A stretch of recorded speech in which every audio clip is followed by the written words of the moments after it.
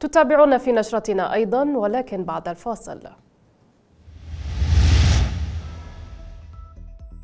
نيجير فان بارزاني والسفير مايك ريتشاردسون يتفقان على ضرورة ولادة حكومة تؤدي لاستقرار سياسي وأمني.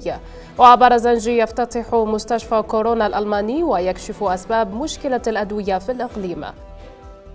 وانحسار منسوب المياه في سد دوكان يهدد مزارع كردستان العراقي بالعطش.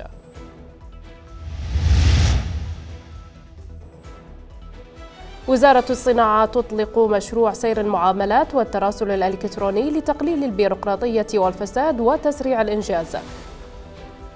وكييف تستهدف جسرا مهما في مدينة خيرسون المحتلة.